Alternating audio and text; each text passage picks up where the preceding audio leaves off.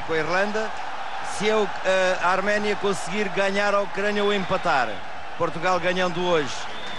Um contra-ataque muito prático e muito simples. Agora Portugal, bem, um para um, Pedro Barbosa, pode entrar na área, o remate e ao lado. Os jogadores portugueses têm naquela zona do terreno, chegam com muita facilidade à grande área. Vamos ver se isso depois tem continuidade. E agora ali o árbitro a deixar prosseguir o jogo. E há protestos, se realmente que ia apontar a marca da grande penalidade. É penalti. E Sérgio Conceição, remate de Sérgio Conceição, é a bola na trave e não entra, é impressionante. A bola parece-me que ainda toca no relevado, não, é o guarda-redes que a defende para a trave. Os jogadores, os três jogadores mais adiantados da Arménia, pressionam. Agora Pedro Barbosa pode ser o golo, Portugal vai marcar é o golo! É o golo de Portugal, domingo! O goleador volta aos golos aqui no estádio do Bonfim.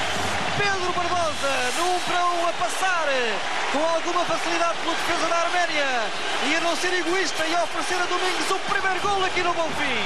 O nosso, os nossos avançados pudesse vir ao de cima, aconteceu aqui. É o perigo deste tipo de, de estratégia. O gol está consumado e, e, a partir de agora Portugal pode repousar mais. Não pode descansar, mas pode realmente construir. A Miqueliano, dois credinos têm tomado praticamente conta do jogo da Arménia. Agora um remate muito longe e a primeira defesa de Rui Correia nesta noite de verão para dar apoio à seleção nacional. Agora Figo e o golo! Figo e o golo! É o 2 a 0 no Bonfim! Figo a tentar a sua sorte e o remate a surgir muito bem colocado. O guarda-redes Arution a ser surpreendido pela colocação do pontapé de Luís Figo. É o 2 a 0 para Portugal no estádio do Bonfim. E se não estou em erro, foi o 11 remate de Portugal à baliza da Arménia. E o professor João de Ferreira as coisas a começarem a ficar mais simplificadas para Portugal. Repare-se como a bola bate à frente do guarda-redes e surpreende a Arotione. Ah, tá, Estão-se a tornar mais fáceis.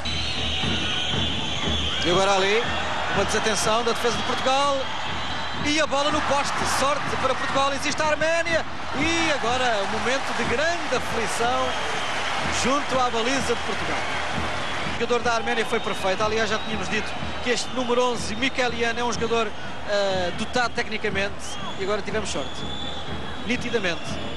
O jogo a prosseguir. Lá está o número 11 e agora a falta de cartão amarelo. Não é possível. Cartão amarelo para Fernando. Fernando Couto não vai jogar contra a Alemanha. Não pode, não pode.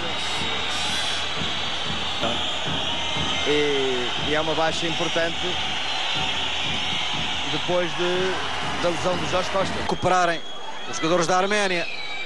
E agora ali um buraco por onde entrou o jogador arménio e o golo. E é o gol da Arménia, logo no primeiro minuto. Logo no primeiro minuto, a Sadorian a fazer o golo. Primeiro passe a cruzar na diagonal, com a defesa de Portugal, os dois centrais a serem surpreendidos, a aparecer no espaço vazio, o jogador Assadoriano e a rematar com muita força, a bola a bater à frente de Rui Correia. E lá está a Arménia a fazer o 2-1. E realmente não podia ter sido pior este início de segunda parte. Não, bom, nós fomos dizendo muitas vezes que era, era perigoso. Era perigoso não haver cobertura na zona central, era perigoso jogar de mobilidade que se está a começar a, a, a baixar a partir de determinada altura. A mobilidade dos jogadores é Agora ali pode ser o gol e é o gol de Portugal. Pedro Barbosa. Pedro Barbosa a fazer o 3 a 1. E agora sim, de novo o entusiasmo no estádio do Bonfim que retiveram após o gol da Arménia. Exatamente, Miguel, ouviu-se aqui um enorme uh, alívio no banco de Portugal e agora, digamos que definitivamente, Portugal a assegurar as, as rédeas do jogo e talvez a encaminhar-se para a vitória.